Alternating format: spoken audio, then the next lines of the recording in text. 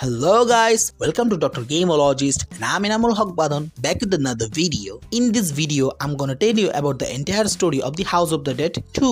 So এই ভিডিওতে আমরা আমাদের শৈশবের the game the house of the dead two এর স্টোরি এক্সপ্লেন করব। তার আগে এই গেমটার ব্যাপারে একটু বিস্তারিত জেনে নিই।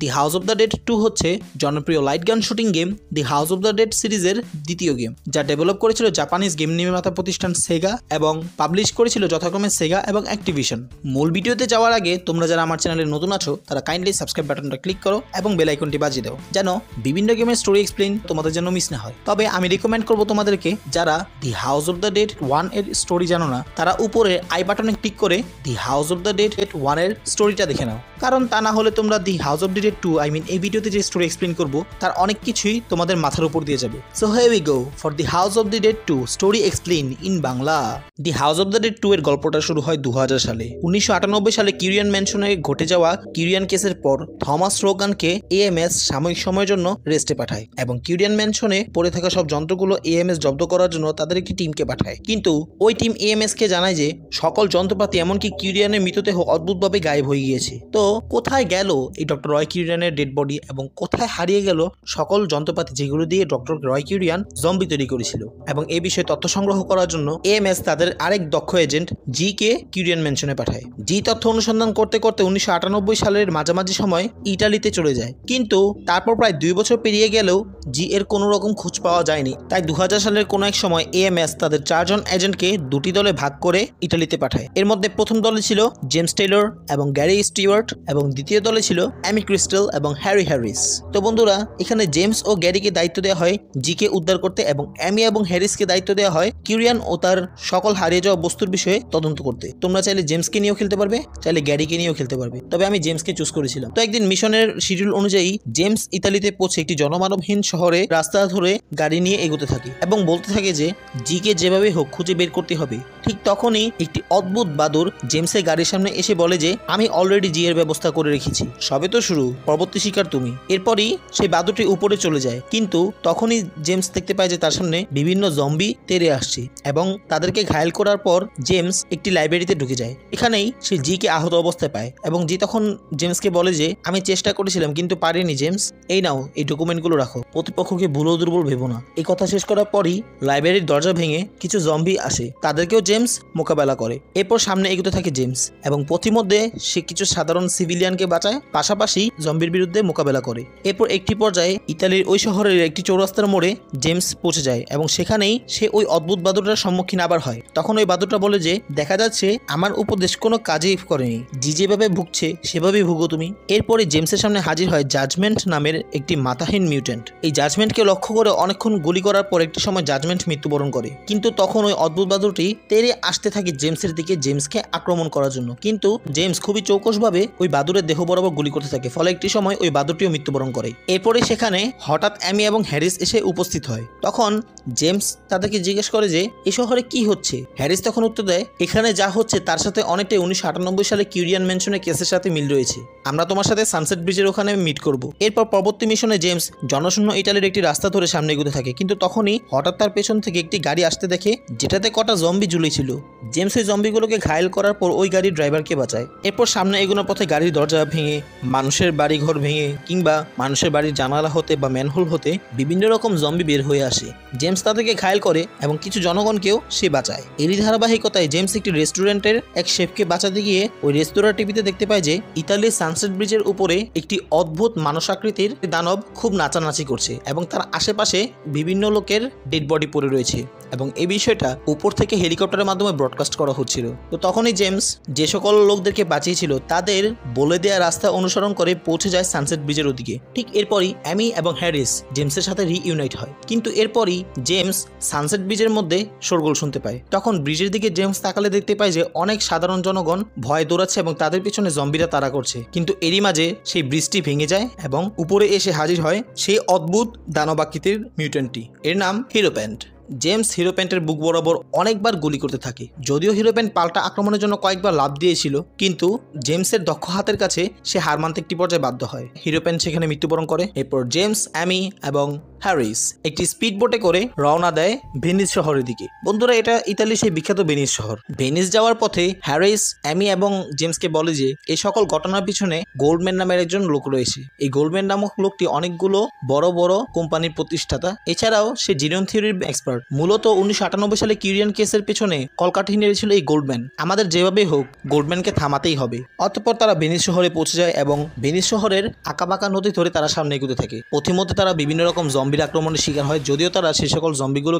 মোকাবেলা করে। এছাড়াও বিভিন্ন সাধারণ জনগণকেও ওরা বাঁচিয়ে দেয়। এরপর হঠাৎ একটি মুহূর্তে অ্যামি এর মোবাইলে গোল্ডম্যানের কল আসে এবং গোল্ডম্যান কল দিয়ে জানায় যে, আমি কোলোসিয়ামে অপেক্ষা করছি তোমাদের জন্য। তোমরা একটু আসো, আমাদের একটি জরুরি মিটিং আছে। তো তখনই পাশ থেকে হ্যারিস জেমসকে বলে যে, এটা একটি ফাঁদ হতে পারে। তবু আমাদের সামনে এগিয়ে গিয়ে দেখা উচিত যে, ঘটনাটা কি ঘটছে। অতঃপর তারা একটু সামনে এগোনোর পর অ্যামি এবং হ্যারিস জেমসকে নামিয়ে দিয়ে বলে, আমরা কোলোসিয়ামে যাচ্ছি। তুমি আন্ডারগ্রাউন্ড দিয়ে তদন্ত করতে থাকো। অতঃপর জেমস তার নিজের মতো একাকী তদন্ত করতে থাকে এবং একটি মানুষকে বাঁচায়। তখন এই ব্যক্তি জেমসকে বলে যে, আমি ভিতরে গিয়েছিলাম, অদ্ভুত এক প্রাণী আমার এক বন্ধুকে ধরে ফেলেছে। আমি বন্ধুকে বলেছিলাম ভিতরে যেতে না, কিন্তু সে আর ফিরে আসেনি। এই কথা বলার পরেই সেই ব্যক্তির বলে দেওয়া লোকেশন অনুযায়ী জেমস পৌঁছে যায় সেই মিউটেন্টের কাছে। এবং বন্ধুরা, এটি অদ্ভুত ধরনের মিউটেন্ট যার নাম হচ্ছে টাওয়ার এবং পাঁচটি মাথা রয়েছে জেমস এদেরকে ঘায়াল করার জন্য এদের মুখ বরাবর অনেকগুলো গুলি করতে থাকে। ফলে একটি পর্যায়ে পাঁচটি মাথার মূল চারটি মাথায় মৃত্যুবরণ করে। কিন্তু একটি মাথা বেঁচে যায়। সেই মাথাটিও পরবর্তীতে জেমসের উপর আক্রমণ করতে আসলে জেমস তাকে মুখ বরাবর গুলি করে মেরে ফেলে। এরপরই জেমসের মোবাইলে কল আসে।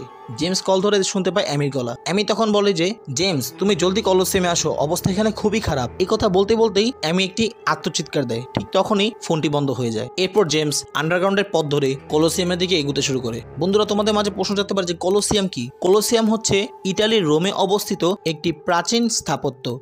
যা রোম সম্রাট ভেসপাসিয়াস নির্মাণ করেছিল। তো যাই হোক, জেমস কলোসিয়ামের রাস্তা না চেনার ফলে সামনে এগুতে থাকে আনমনা হই। তখনই সে একটি ব্যক্তিকে বাঁচায় এবং ওই ব্যক্তি বলে যে, আমি কলোসিয়াম থেকে মাত্রই এসেছি। ওখানের অবস্থা ভয়াবহ। পাশাপাশি কলোসিয়ামের দিকে কীভাবে এগুতে হবে সেটাও বলে দেয় সে ব্যক্তি। অতঃপর জেমস সামনে এগুতে থাকে এবং কিছু জম্বিকে মোকাবেলা করার পর একটি সময় সে কলোসিয়ামে পৌঁছে যায় এবং কলোসিয়ামের ভিতরে পৌঁছানোর পরই সে ওই কলোসিয়ামে কিছু দেখতে পায় না। কিন্তু হঠাৎই একটি স্ক্রিনে গোল্ডম্যান উপস্থিত হয়। তখন গোল্ডম্যান বলে যে, হুম হুম হুম এএমএস এর বন্ধুরা আমার পথে তোমরা কাটা হয়ে থাকবে কি থাকবে না তা আমি জানি না। এখান থেকে কীভাবে বেঁচে ফিরবে সেটা চিন্তা করো। তোমার ডানে তাকাও। তখনই জেমসের আশেপাশে অনেকগুলো মেজ উঠে আসে এবং ঠিক জেমসের সামনে একটি খাঁচা নিচ থেকে উঠে আসে, যেটার মধ্যে অ্যামি এবং হ্যারিস বন্দি অবস্থায় রয়েছিল এবং তাদের পাশে ছিল বিশাল একটি মিউটেন্ট যার হাতে ছিল বিশাল একটি উটকাটার। তো বন্ধুরা, এই মিউটেন্টের নাম হচ্ছে মূলত স্ট্রেংথ। তো খাঁচাটি খুলে যাওয়ার পর স্ট্রেংথ জেমসের দিকে তুমুল গতিতে দৌড়ে আসতে থাকে, কিন্তু জেমস বারবার স্ট্রেংথের মাথা বরাবর গুলি করতে থাকে। অনেকক্ষণ গুলি করার ফলে স্ট্রেংথ একটি সময় মৃত্যুবরণ করে।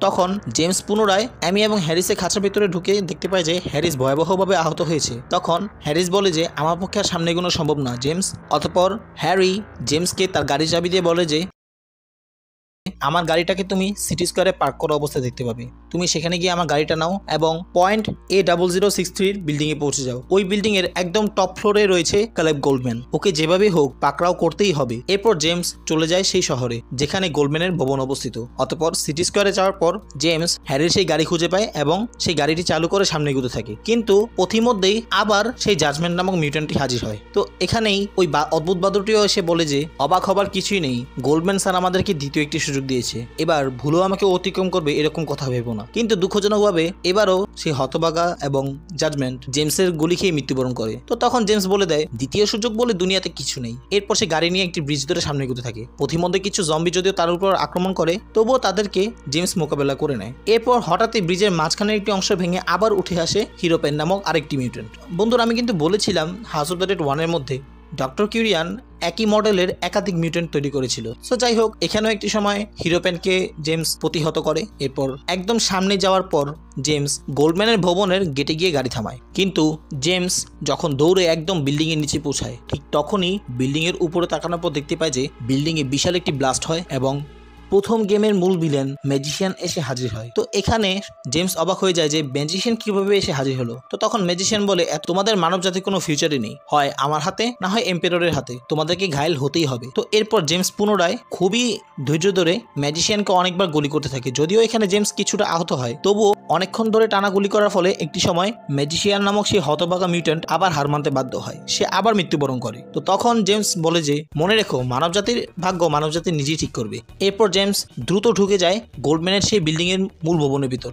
এবং মূল ভবনের নিচতলায় কিছু জম্বি দেখতে পায় তাদেরকে প্রতিহত করে। এরপর লিফটের সাহায্যে উপরে ওঠার পর সে একটি ল্যাবে পৌঁছায়। সেই ল্যাবে সে ওই সকল যন্ত্রগুলো দেখতে পায়, যে সকল যন্ত্রগুলো কিউরিয়ান ম্যানশনের ভিতরে রয়েছিল এবং একটু সামনে এগোতেই আবার টাওয়ার নামক একটি মিউটেন্ট দেখতে পায়। তো একেও জেমস প্রতিহত করে। তো এরপর জেমস সিঁড়ি বেয়ে উপরে উঠতে উঠতে গোল্ডম্যানের মূল চেম্বারে পৌঁছে যায়। তো তখন জেমস গোল্ডম্যানকে বলে যে গোল্ড গোল্ডম্যান, তুমি কি করছ? তাকে তুমি জানো? তখন গোল্ডম্যান বলে আমি পুরোপুরি ওয়াকিবহাল আছি যে আমি কি করছি। তা মানবজাতির জন্য কতটা ভালো বা কতটা খারাপ তাও আমি জানি। আমরা মানবজাতিরা খুবই দোষী, খুব বড় একটি পাপ করেছি আমরা। প্রকৃতির যে স্বাভাবিক জীবনচক্র সেটাকে আমরা নষ্ট করে দিয়েছি। বন্ধুরা, এখানে একটি ভয়াবহ সত্য বের হয়ে আসে। উনিশশো আটানব্বই সালে কিউরিয়ান কেসের পিছনে আসলেই গোল্ডম্যান জড়িত ছিল।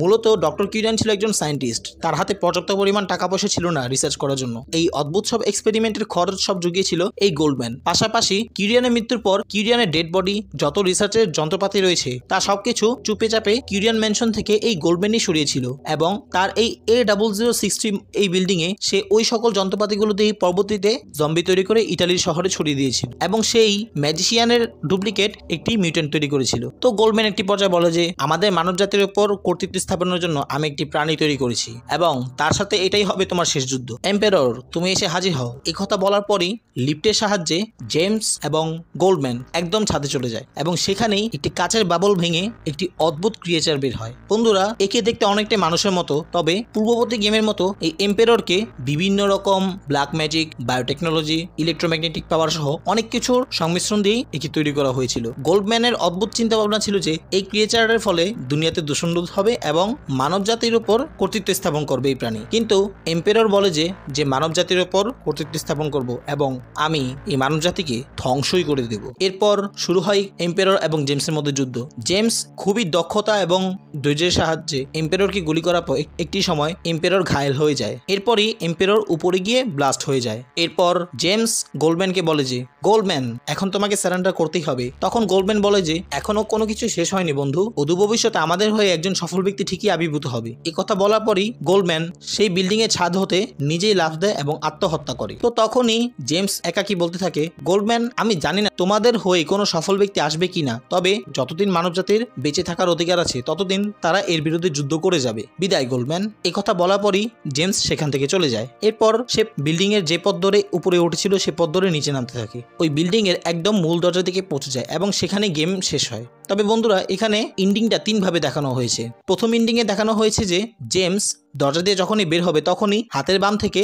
থমাস রোগান এসে বলে যে, তুমি চিন্তা করো না জি এবং হ্যারি পুরোপুরি সুস্থ, সবল রয়েছে এবং চলো আমরা আমাদের পরবর্তী মিশনে যাই। যতদিন বাঁচার ইচ্ছা আছে আমাদের, ততদিন যুদ্ধ করতেই হবে। দ্বিতীয় ইন্ডিংয়ে দেখানো হয়েছে যে, নিচে এসে গেট খোলার পরই সে গোল্ডম্যানকে দেখতে পায়। কিন্তু এখন গোল্ডম্যান টোটালি জম্বিতে পরিণত হয়েছে। এরপর জেমস গোল্ডম্যানকে গুলি করে মেরে ফেলে। তৃতীয় ইন্ডিংয়ে দেখানো হয়েছে যে গেট খোলার পর জেমস, অ্যামি, হ্যারিস এবং জিকে দেখতে পায় পুরোপুরি সুস্থ রূপে এবং পেছনে অনেক সাধারণ জনগণকে দেখতে পায়, যাদেরকে তারা বাঁচিয়েছিল। এবং এখানেই শেষ হয় the house of the dead two এর গল্প। সো বন্ধুরা, গল্প শেষ হলো তোমাদের মাঝে হয়তো কিছুটা প্রশ্ন রয়েছে যে, ডক্টর রয় কিউরিয়ানের কি হলো? তার তো কোনো খোঁজ খবর পেলাম না। বন্ধুরা, ডক্টর রয় কিউরিয়ানের কি হলো? এই ব্যাপারে আমরা জানব আমাদের পরবর্তী ভিডিওতে। I mean the house of the dead three এর story এক্সপ্লেনে I hope you have enjoyed this video পরবর্তী ভিডিও আসার আগ পর্যন্ত ভালো থাকুন, সুস্থ থাকুন, ভিডিওটি শেয়ার করুন এবং ভালো লাগলে সাবস্ক্রাইব এবং লাইক বাটনটি ক্লিক করুন। পরবর্তী ভিডিওতে the house of the dead three এর স্টোরি নিয়ে আসব। সো গুড বাই আসসালামু আলাইকুম